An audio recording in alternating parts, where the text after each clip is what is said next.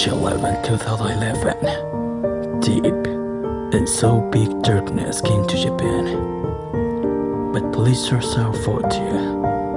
If people don't give up, people can move forward. Please trust our future and please trust your future.